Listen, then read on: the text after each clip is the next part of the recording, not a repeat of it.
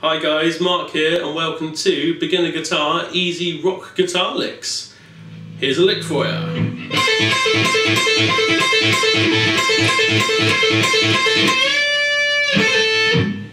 Pretty cool.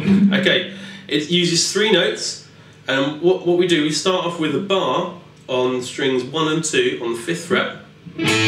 Should sound, sound like that hopefully.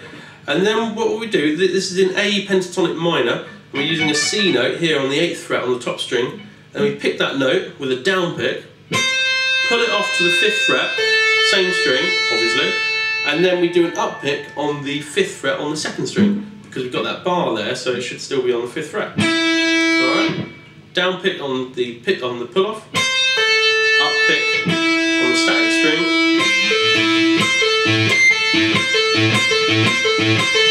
Get a nice tempo going, nice rhythm. One, two, three, one, two, three, one, two, three, one, two, three, one, two, three. And there we go.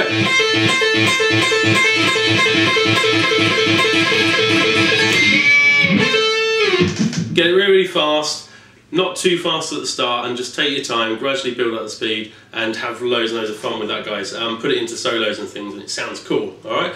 Okay, I'll see you guys in my next video. Don't forget to subscribe and log on to www.randlesomeguitar.webs.com.